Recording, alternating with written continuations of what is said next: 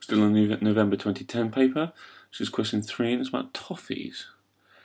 And this company makes toffees. Here's a little picture of you in case you didn't know what a bag of toffees looks like. And they um, take a sample of 11 bags. So when they make them, they just pick out 11 bags and they count the toffees in each bag. So we want to write down the mode. Okay, well, we can do that either by, by spotting it. If we count that 51 comes up 1, 2, 3, 4, 5 times, and 50 only comes up 4 times, it comes up more than the other numbers. So the mode must be 51, it's the one that comes up the most. Okay? Now we're going to work out the median. Now we've got to remember that median means the middle number, but only the middle number when we've put in order. When they're in order either from smallest to biggest or biggest to smallest. So let's rewrite. So we've got some working out. So it says you must show your working. So you can't just count down the middle here and see that 43 is in the middle. No, we've got to put it in order. So 43 is the smallest. And then let's just cross it off. Then we've got 50, and we've got four of them. So we've got 50, 50, 50, and 50. Two, three, four of them. Then I've got 51, 51, 51, 51. So I've got five 51s. One, two, three, four, five. And then I've got 52 let's just check. I should have 11 bags. So I've got 1, 2, 3, 4, 5, 6, 7, 8, 9, 10, 11. Yep. Now let's just cross off. We're going to cross off from the top and the bottom and we want to work our way to the middle. So let's cross off 2. Let's cross off another 2. Now I'm only going to cross one of each off, otherwise I'm going to go too far. So cross that one, and I'm left with just one number in the middle. So that's the middle number, the median, must be 51 as well. You get one mark for putting them into order correctly, and then one mark for finding the middle. Now we've got to find out the mean. Now the mean is when you add all the numbers up and you divide by how many there are. Okay, so it's the other average. We've done the mode average, the median average. So we've got to add them all up. So we can just tap these into our calculators, and that's that's easy enough. You're just got to sit there and tap them in, uh, and you do that, and you find out that the total you might want to, uh, if you've done it already, or if you want to pause the video and then do it, you add them all up and you get 550. So the mean is 550 divided by 11. And that comes out as exactly 50. So the mean calculation is 50, and that's worth three marks. And I think that's nice and easy. So you found one mark for getting the total, one mark for trying to divide that total by 11, and the final mark for getting it correct. Okay, so we've got the mode of 51, the median of 51, and the mean of 50. Let's look at the next bit. The company claims there are 50 toffees in a bag. Given a reason why this claim seems fair. Well, we know that the mode was 51, and the mean was uh, sorry, the mode was 51 and the median was 51, but when they calculated the mean,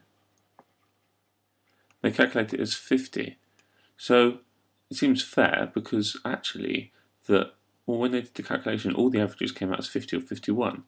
So um, there are 50 toffees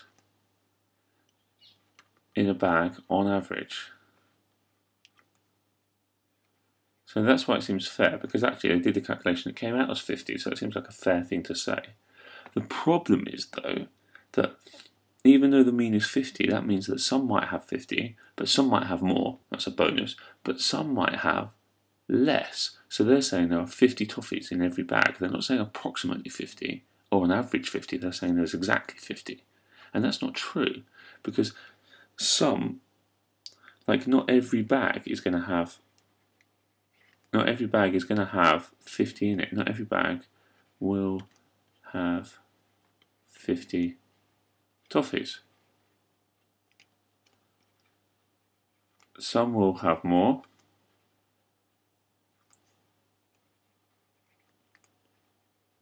And some less. Okay, so it seems fair on one hand because actually, yeah, they did the calculation and on average there was 50. But the problem with the average means that you might have some that are more and some that are less. So, like, and in this case there was there was one that was less than 43. So if you thought you were buying 50 toffees and you only got 43, you were unlucky and had that bag. Doesn't seem really fair, does it? So they haven't said approximately 50. They said there were exactly 50 in every bag. Now the company uses the first 11 bags produced each Monday to check the contents. Okay, so every Monday they take 11 bags, the first 11 bags produced to check them. And now we want to say two ways that we can improve that. Well, there's lots of different answers you can give for this, but, but the idea is that um, you could you could take uh, bags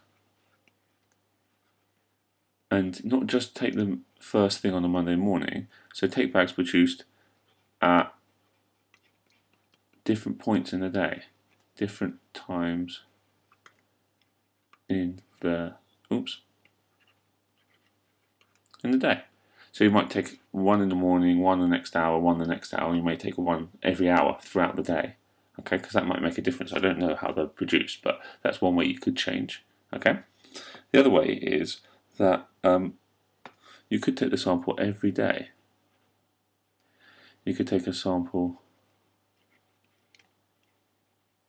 every day. Okay, so not just Monday. So look at taking a sample throughout the week, not just Monday.